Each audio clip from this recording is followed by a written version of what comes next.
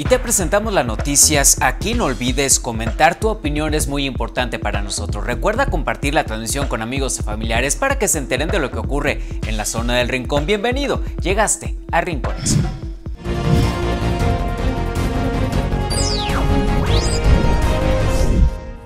Y hoy por la mañana un hombre de 56 años de edad circulaba en su motocicleta en el libramiento sur de San Francisco del Rincón y antes de llegar al cruce de la calle Cuarzo, impactó contra un joven ciclista de 24 años, cayendo ambos sobre la ciclovía resultando con lesiones en distintas partes del cuerpo y el motociclista con una contusión cráneoencefálica, misma que fue atendida por Protección Civil y Cruz Roja, trasladándolo a este último al hospital comunitario.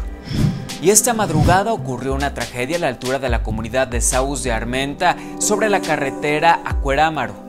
Un hombre de 57 años de edad murió cuando perdió el control y volcó en este automóvil negro cuando conducía a las dos y media de la mañana, quedando en medio de los dos carriles. Lo acompañaban una niña de 13 años de edad, así como dos jóvenes de 15 y uno más de 21 años que afortunadamente tuvieron lesiones menores. Elementos de protección civil y Cruz Roja se trasladaron a la comunidad para atender a los lesionados. Y poco después de este accidente, a las 5 de la mañana, elementos de protección civil y bomberos fueron movilizados por un incendio. Así quedó esta tienda de abarrotes de la calle Pipi, la esquina Hidalgo, en el centro de Purísima del Rincón. Esta conectaba a una vivienda y era consumida por el fuego. Los residentes y vecinos ya habían intentado apagar las llamas por sus propios medios, pero era demasiado para hacerlo ellos mismos. Poco más de una hora se tardaron en sofocar las llamas, quedando solo daños materiales en la miscelánea. La causa probable, un cortocircuito. Y casi al mismo tiempo, pero en San Francisco del Rincón ocurrió lo siguiente. Una mujer de 32 años de edad entró en labor de parto en su casa ubicada en la calle Ópalo de la colonia Vista Oviedo. Recibió atención médica por parte de paramédicos de protección civil a la espera de la Cruz Roja y cuando la ambulancia llegó al lugar se encontraron con esta sorpresa. La mamá ya había dado a luz, trasladándola así a ambos pacientes al hospital comunitario. Y llegó el momento de opinar y leer tus comentarios. Esta es la cabina ciudadana. Hemos recibido un reporte acerca de falta de alumbrado público desde hace cuatro días en la calle Concepción, entre Fausto León y José Vasconcelos, en San Francisco. Compartimos el reporte e invitamos a quien se encuentre en casos similares a hacerlo también en servicios públicos municipales. También recibimos un comentario en el que señalan que desde la apertura de negocios e industria han aumentado considerablemente los contagios por COVID y señala que una opción sería volver a cerrar todo. ¿Tú qué opinas? ¿Crees que es la mejor opción? Asimismo, recibimos un reporte acerca del Parque de la Colonia del Carmen, en Purísima. Menciona que hay muchos jóvenes sin utilizar las medidas de prevención necesaria y que elementos de protección civil no han logrado evitarlo, a pesar de tener una caseta cercana.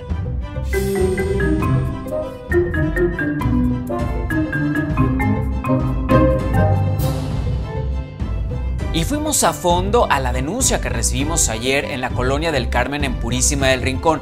¿Qué está pasando ahí? Platicamos con vecinos e incluso con personal de protección civil pues un poquito más controlado cuando del, tiempo que se puso protección civil aquí a unos cuantos metros.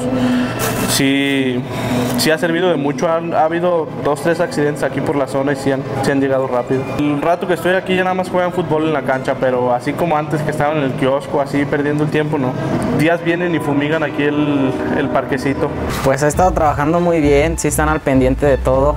Cualquier llamado que tienen, sí, sí lo acuden rápido y cuidando también aquí ya. Ya no se juntan los, cholillos ahí porque ya están ahí ellos.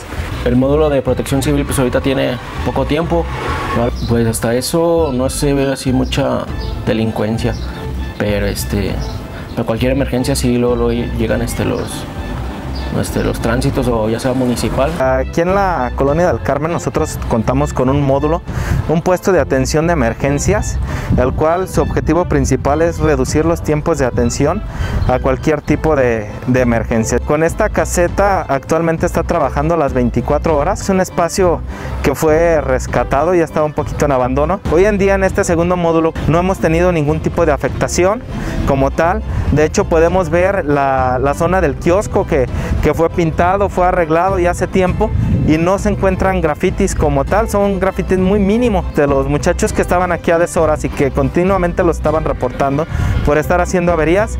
Eh, cada vez es menos atractivo para ellos este lugar. Se empiezan a ver más familias, que eso nos gusta mucho, que se empieza a rescatar estos espacios.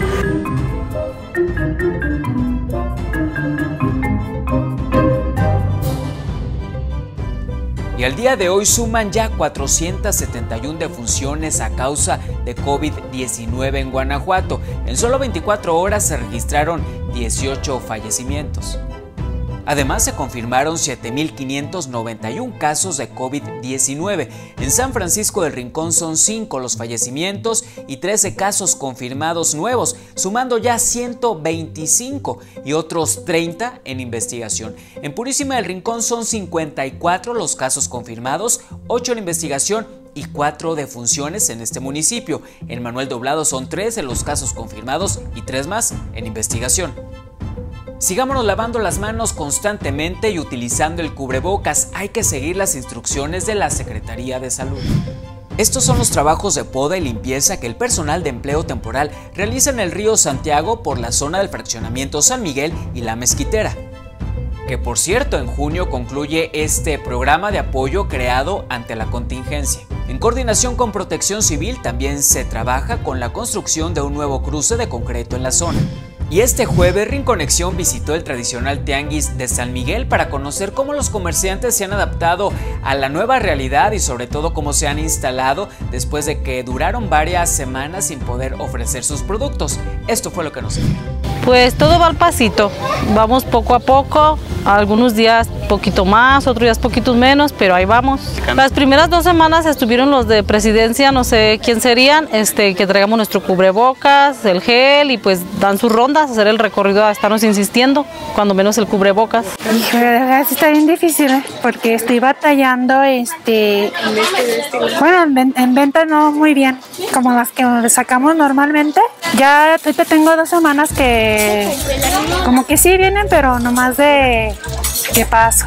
Mira, aquí con lo de la contingencia, este, pues han estado muy bajas las ventas. Yo con mi negocio, con el gimnasio, con la pequeña tiendita, igualmente aquí los tianguistas, este, pues echando la lucha y trabajando día a día, sacando para subsistir. Casi por lo regular, Protección Civil y los de Salubridad, los que han estado recorriendo la zona, nada más.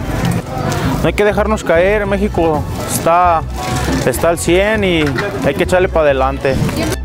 y fue instalado el Consejo de Participación de Gobierno Abierto en Purísima del Rincón. Hace unas semanas fue lanzada la convocatoria para el secretariado de manera abierta para que la ciudadanía interesada pudiera registrarse en línea. Ellos son los miembros del Secretariado Técnico Municipal que tomaron protesta comprometiéndose al ejercicio de la transparencia. Cabe señalar que este ciudadano estará vigente durante los próximos dos años y es voluntario. El presidente del Consejo Coordinador Empresarial de San Francisco del Rincón presentó su renuncia a pesar de que su periodo concluiría hasta mayo del próximo año. Platicamos con él sobre los motivos de su decisión. agradecer por todo este periodo que estaba en el Consejo Coordinador y bueno, pues eh, despedirme, ¿no? El principal motivo es porque tanto el, colegio como yo eh, creemos que el objetivo que nos propusimos de construir eh, un Consejo Coordinador Empresarial y vincularlo de acuerdo a nuestra visión ha terminado. Eh, por agenda también de, y participación del Consejo. Sin embargo, queda una relación este, de amistad muy bien con el Consejo y abierto a colaborar desde otra perspectiva. El Colegio de Diseñadores y, y un servidor tiene siempre la visión de tener una apertura e incluir a otros sectores, a la participación de, de otras voces. Para ver un Consejo Coordinador Empresarial y que tenga peso, creemos que debe tener una alta credibilidad y una alta transparencia en las decisiones y en los procesos que tiene. Las metas, primero buscar el nombre, que fue algo complejo del Consejo Coordinador, estructurarlo crear las bases y este modelo para que pueda tener el, el nivel que San Francisco requería y tener una voz ante Estado y a nivel nacional. Otra de las metas importantes es que se logra esta vinculación con Coparmex, ellos con un objetivo de, de tener representación en las ciudades del Rincón. Y por último, eh, la apertura. Dejé este, en conjunto con todo el Consejo las bases para que se incluyan otros sectores, agropecuario, salud, servicios. Lo que sigue para el Consejo Coordinador Empresarial, según este, los estatutos presentes, es que el vicepresidente queda como presidente hasta que eh, la asamblea decida convocar elecciones. Para Gerardo viene a abrir otras nuevas este, participaciones, una a través de, de, mi fundación Vivir con Ingenio, fortalecer las vinculaciones que tengo con mis afiliados, que son este, talentos creativos, emprendedores, etc. El papel que tiene un presidente y nivel personal es dejar institucional, institucionalmente fortalecido a, a, a quien deja, ¿no? la institución que deja.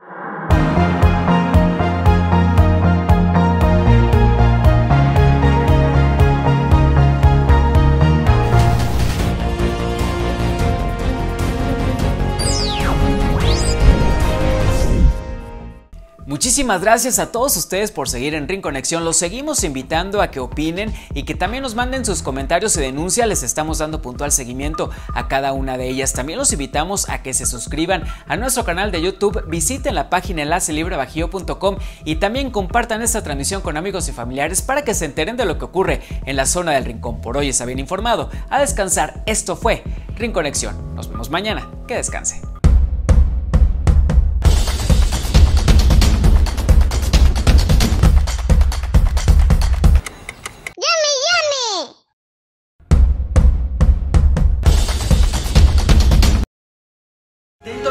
En algunas agencias de viaje y ya está en marcha un plan de emergencia en Purísima del Rincón para cómo estás enfrentando esta contingencia. Hoy fueron entregadas despensas a adultos mayores en San Francisco del Rincón, una jornada con varios detenidos por autoridades de seguridad. Además, bienvenidos a Rinconexión.